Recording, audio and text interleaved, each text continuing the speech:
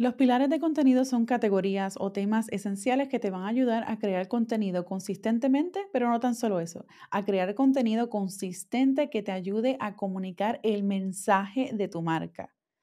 El marketing audiovisual y, los pilares de contenido están altamente atados, porque es a base de esos pilares que vas a crear tus campañas de vídeo, de podcasting, lo que fuese, cualquier campaña de mercadeo para promocionar tus productos, tus servicios, un lanzamiento, etc. Este episodio es parte de la miniserie Marketing Audiovisual, fusionando el vídeo y el podcasting para tu estrategia de marketing. Yo soy Yesenia, tu coach de video podcast y marketing digital, y esto es Blon Creativo. En este espacio hablamos sobre lo que es el video podcast, creación de contenido, marketing digital. Y dentro de todo eso, yo divido el tipo de tema en categorías, en pilares. Algunas de estas son la creación de contenido de video podcasting, estrategias de podcasting para emprendedores y tras cámaras. Estos son pilares que me ayudan a desarrollar ese factor de conocer, gustar y confiar, que es lo que te va a ayudar a establecer, a, a establecerte como autoridad en un área en particular y que me ayudan a mí a mantener mi contenido estructurado y enfocado basado en mi audiencia.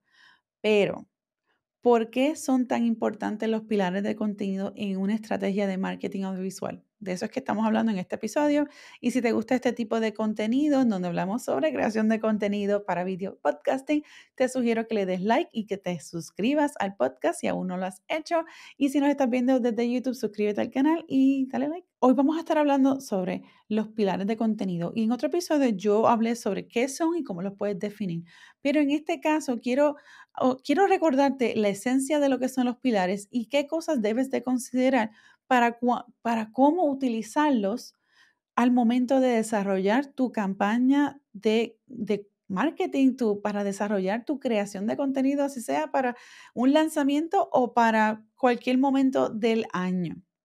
Lo primero es que los pilares de contenido aportan estructura y dirección a tus esfuerzos de creación de contenido.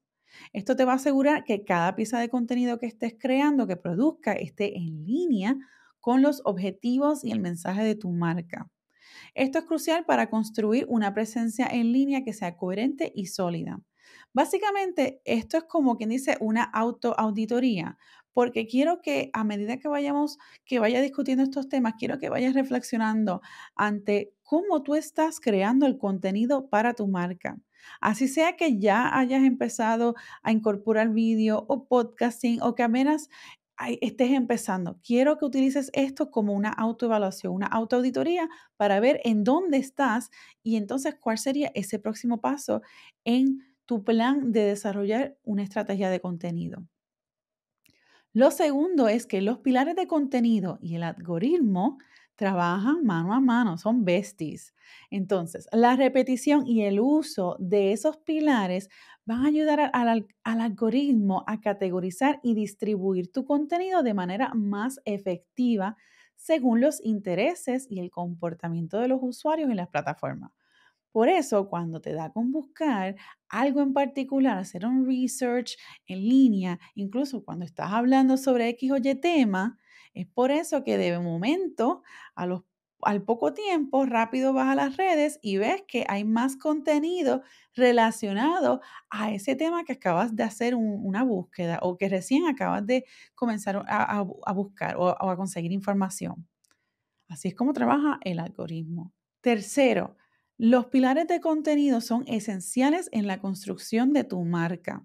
De nuevo, son pilares, es la base que tú tienes, es como el pilar de una casa. Sin esos pilares, sin esos cimientos, no vas, no vas a tener una, una fundación sólida que te ayude a construir lo que sea que quieras hacer. Ahora, como menciono, o sea, estos pilares te permiten diferenciarte de la competencia y conectarte también con tu audiencia objetivo. Con múltiples pilares de contenido, es posible que puedas entonces atraer un público más amplio, pero sin perder la identidad de tu marca. Quiero hacer una mini pausa ahí porque no es que estés con, no es que estés llegándole a todo el mundo, porque al tratar de llegarle a todo el mundo, le llegas a nadie.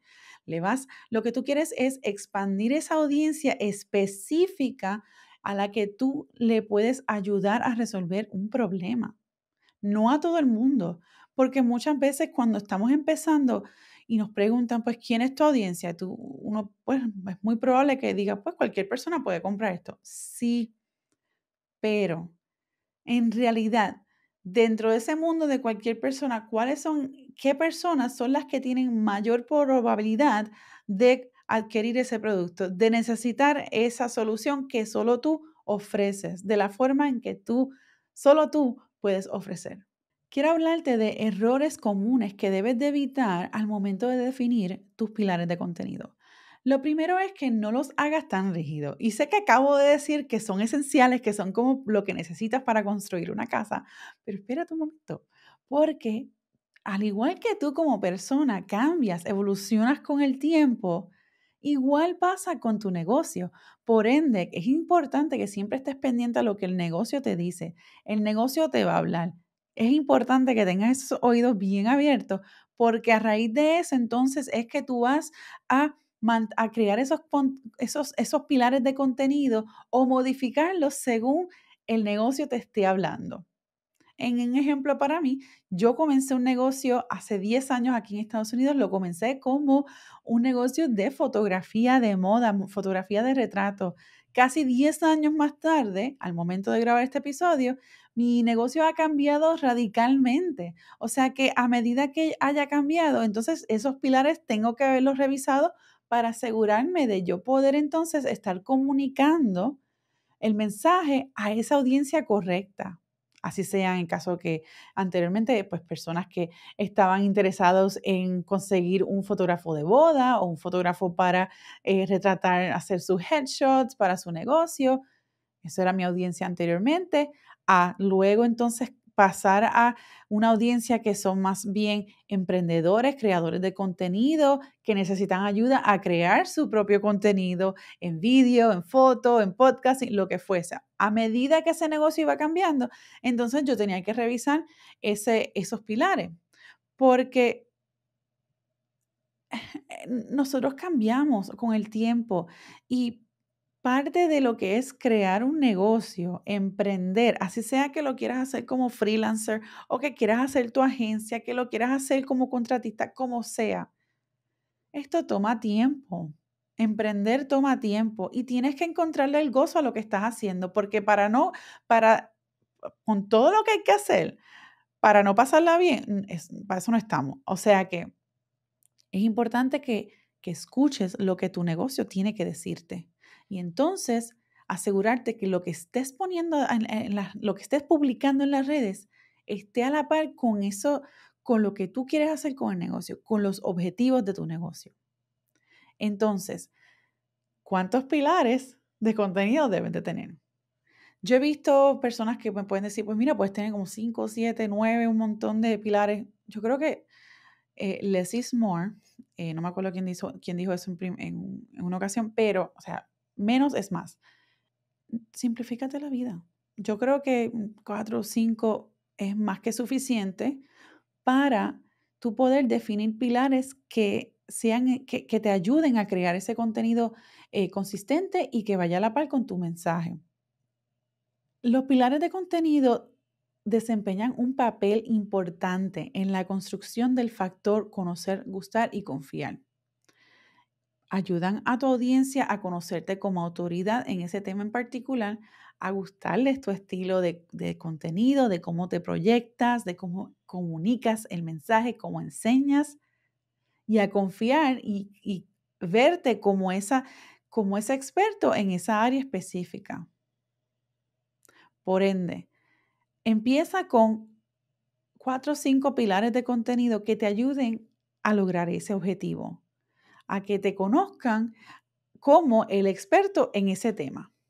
Para entonces elevar tu estrategia de, cómo vas a definir estos pilares, te recomiendo que consideres lo siguiente, y es que creas subtemas dentro de esos pilares. Entonces, esto lo que va a hacer es que te va a ayudar en la generación de ideas y en la planificación del contenido para que se te haga más fácil y más eficiente. Por ejemplo, uno de mis pilares es creación de contenido simple en video podcasting. ese es el tema, ¿no? Dentro de eso, yo puedo hablarte de tecnología para, para simplificar tu producción, porque como te podrás imaginar, vete a Amazon o a donde sea que quieras conseguir una cámara y ponte cámara para vídeo. ¿Cuántas no te van a aparecer? ¿Y cuál es la que tú necesitas?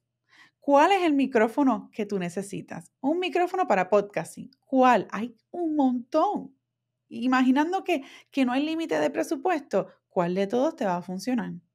Pues eso es un ejemplo de cómo crear subtemas o una ramificación de esos pilares para ayudarme a crear contenido de forma consistente que entonces ayude a reforzar ese pilar de creación de contenido simple en video podcasting. Porque si yo lo que me quiero enfocar es creación simple, pues entonces ya yo sé que este equipo va a funcionar, pero que este equipo no. Por eso, los el tener los pilares te va a ayudar a definir tu estrategia, a definir exactamente de qué es lo que vas a estar hablando en tu podcast o en tu vídeo, en el contenido que estés creando. Ahora vamos a ponerlo en práctica. Tienes una asignación, lo siento, pero aquí vamos a trabajar. Quiero que hagas, tomes un tiempo para autoevaluar tu estrategia de contenido. Y entonces lo que vas a hacer es lo siguiente. Lo primero es que vas a identificar tus temas principales. Piensa en tu negocio, en tu nicho, en tu experiencia. ¿Cuáles son los temas que más se alinean con tu marca y lo que ofreces? Entonces, estos van a ser tus pilares principales.